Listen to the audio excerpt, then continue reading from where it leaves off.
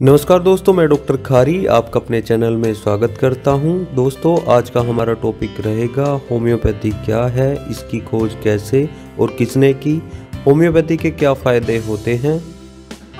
दोस्तों, होम्योपैथी के खोजकर्ता जर्मन डॉक्टर हैनीमैन ने की थी।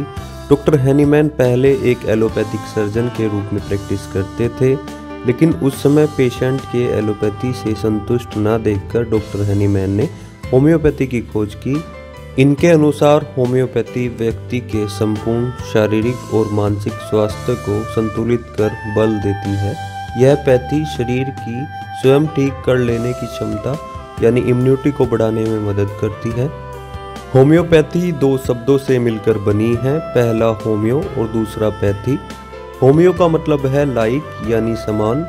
पैथी सफरिंग से बना है। इसका अर्थ है कि अगर किसी चीज़ के खाने से हमारे शरीर पर नेगेटिव इफ़ेक्ट्स पड़ते हैं तो वही चीज़ के कम खुराक में देने से रोगी ठीक हो जाता है। दोस्तों, इसको साधारण भाषा में समझा जाए तो प्याज के काटने से आँखों और नाक पर जो लक्षण नज़र आते हैं, वैसे ही लक्षण अगर जुकाम में नज़र आए तो प्याज से बनी मेडिसिन से वो ठीक हो सकते हैं। यह पैथी केवल रोगी के लक्षणों का इलाज ही नहीं करती, बल्कि रोगी के मानसिक और शारीरिक स्थिति पर भी ध्यान देती है। यानी एक ही मेडिसिन रोगी के पूरे शरीर को ठीक कर देती है। होम्योपैथी दवाई प्राकृतिक पदार्थों का उपयोग करके बनाई जाती है। होम्योपैथिक फार्मोकोपिया के अनुसार प्राकृतिक पदार्थ को अल्कोहल और पानी के निर्धारित अनुपात के साथ मिलाकर दवाई बनाई जाती है।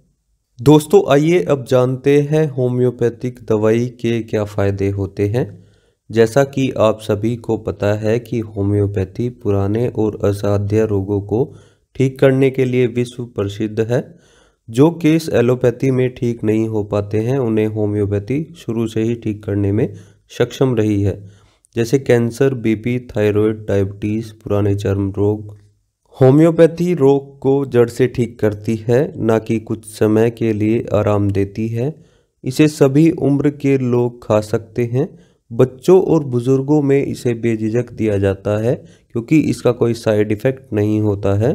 दोस्तों, अगर आप किसी पुरानी बीमारी से पीड़ित हैं और आप इसका होम्योपैथिक इलाज चाहते हैं तो दिए गए व्हाट्सएप नंबर पर मुझसे संपर्क कर इलाज ले सकते हैं।